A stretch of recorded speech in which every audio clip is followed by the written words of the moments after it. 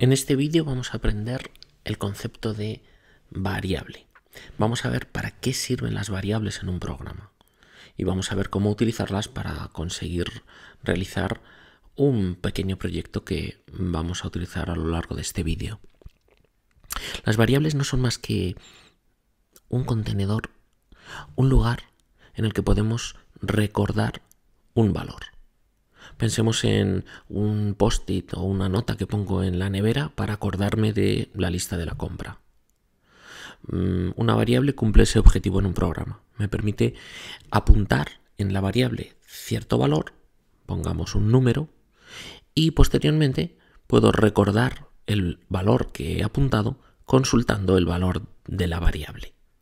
Variable, por lo tanto, lo vamos a asimilar en esta analogía a la nota que pego en la nevera para acordarme de la lista de la compra. Bien, vamos a eh, crear un proyecto en el que queremos que eh, cada vez que pulsemos con el ratón sobre un objeto, sobre nuestro gato, aparezca un mensaje diciendo el número de veces que hemos pulsado sobre el objeto. De forma que queremos que Scratchy, el gato, eh, cada vez que pulsemos sobre él, diga me has pulsado una vez. Si pulsamos otra vez con el ratón sobre él, diga me has mm, pulsado dos veces. Y así. ¿Cómo podemos resolver este problema?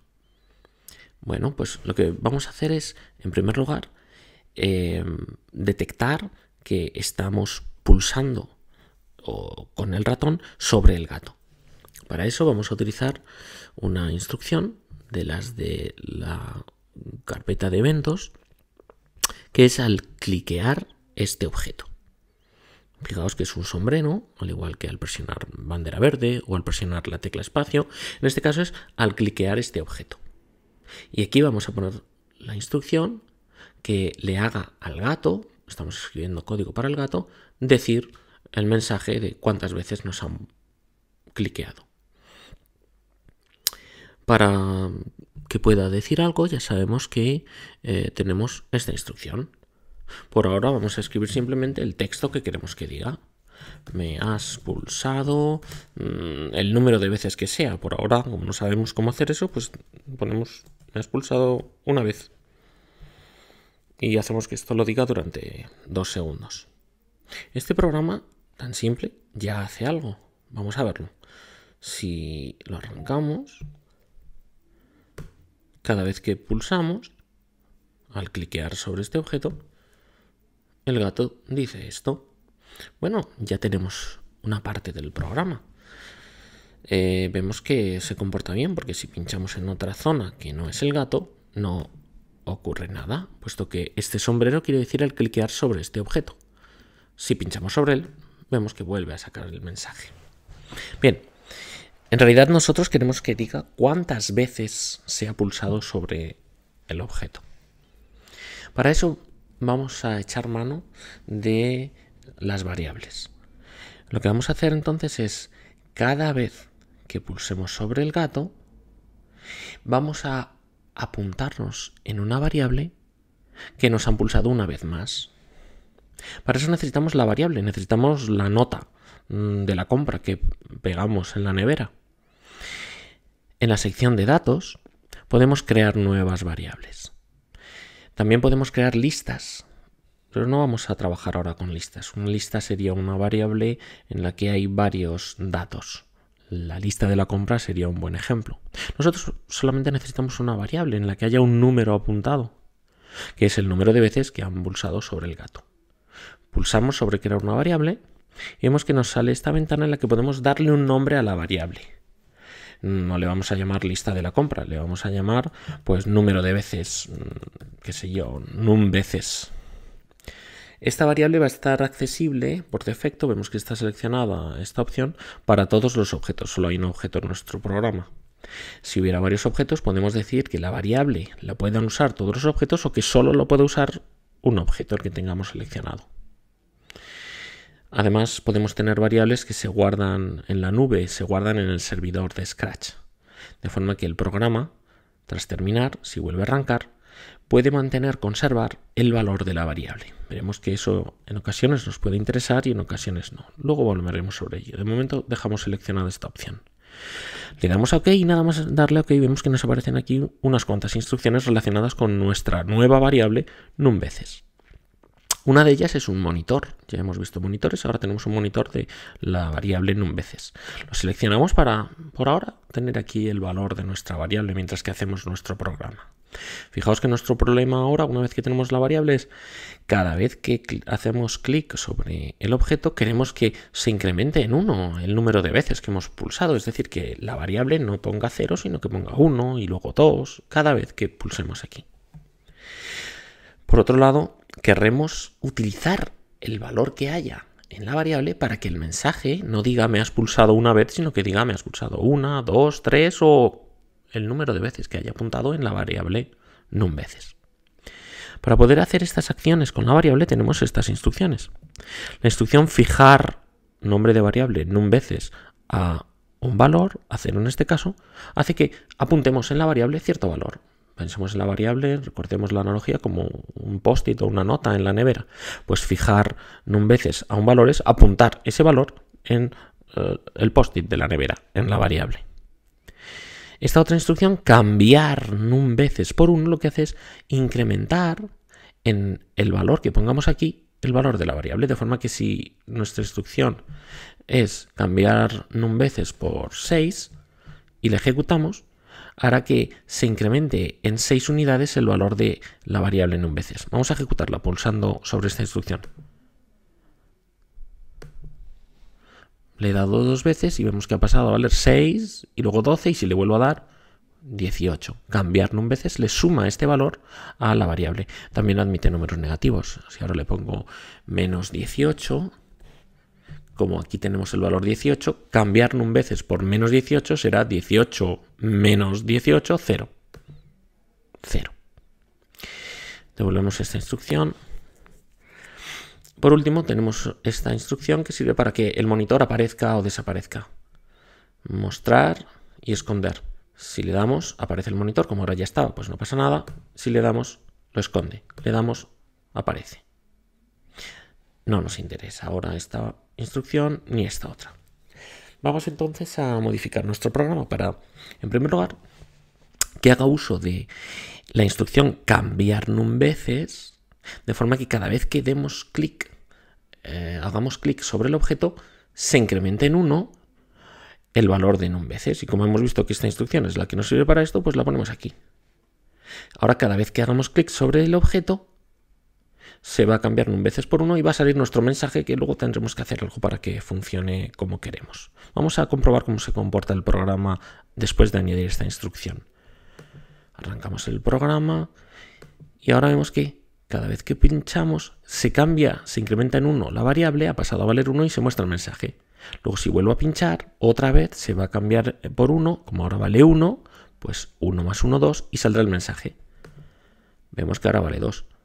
Y si vuelvo a pinchar, vemos que vale 3, porque cada vez que pincho aquí, que pincho en el objeto, se ejecuta este programa, al cliquear este objeto, se incrementa en 1 la variable y sale el mensaje. Pues ya tenemos una buena parte de nuestro programa terminada porque ya la variable va guardando el número de veces que hemos pulsado, que hemos hecho clic sobre este objeto. ¿Qué nos faltaría? Pues únicamente modificar este texto para que en lugar de escribir siempre me has pulsado una vez, lo que es mentira, pues que muestre el texto de me has pulsado lo que digan un veces, veces. ¿Cómo hacemos eso? Tenemos en la carpeta de operadores una instrucción que nos sirve para concatenar o unir un texto y otro texto. Nosotros queremos que salga siempre me has pulsado, me has pulsado, y ahora que aquí, en lugar de poner esto, ponga el número de veces, pero el número de veces es lo que diga la variable, para eso la usamos, para apuntar ahí cuántas veces nos han pulsado. Si nos vamos a datos, tenemos aquí este monitor que podemos arrastrar y colocar aquí.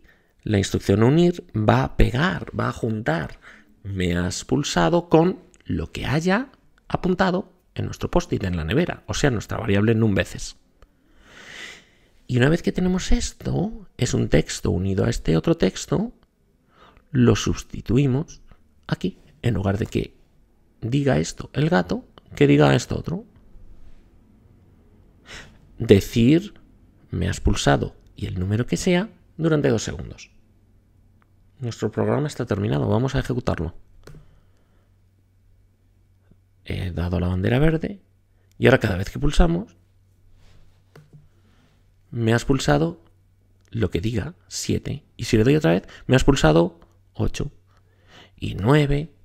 Porque siempre, cada vez que pulsamos aquí, se ejecuta este programa que incrementa en 1 la variable y ahora une el texto me has pulsado con lo que haya en la variable num veces.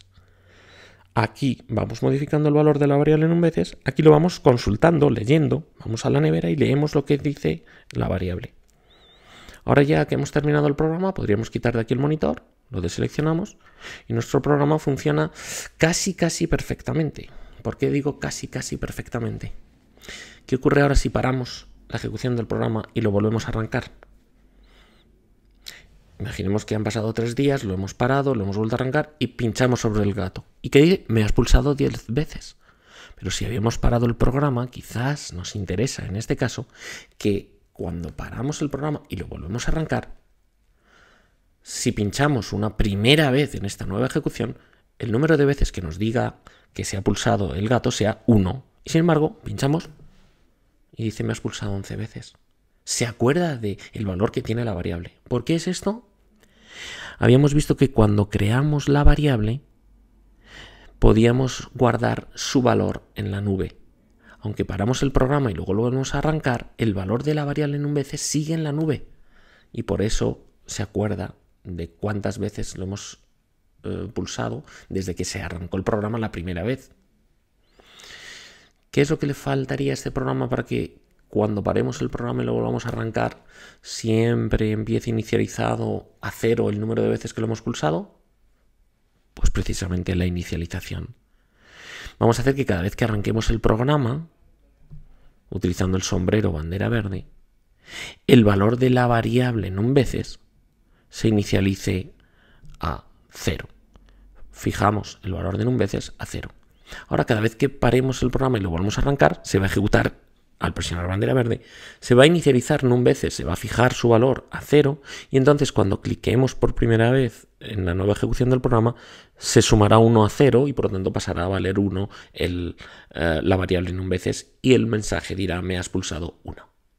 Vamos a comprobarlo como ahora, tras haber hecho esto, si paro el programa y lo ejecuto y pincho, me dice me has pulsado una vez. Vemos con el monitor que lo que hay en un veces es 1.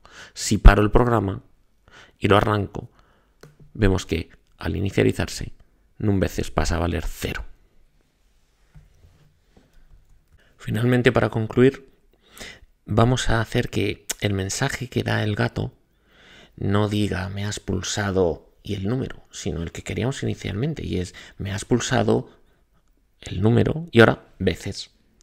hemos aprendido que unir nos sirve para concatenar o juntar un texto y otro texto, en este caso lo que haya en la variable en veces.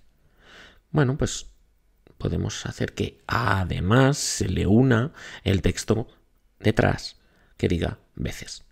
Sencillamente con otro unir. En el primer parámetro ponemos esto y aquí ponemos veces.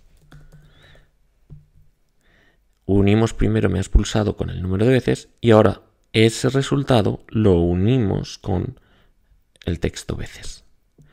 Eh, vamos a dejar un espacio en blanco para que el número no nos aparezca pegado a este texto. Lo devolvemos a decir y comprobamos que ahora efectivamente el mensaje es me has pulsado una veces, dos veces, tres veces. Bueno, este programa todavía tendría un problema y es que la primera vez que pulsamos nos dice me has pulsado una veces. En breve vamos a aprender cómo solucionar este problema con las sentencias condicionales.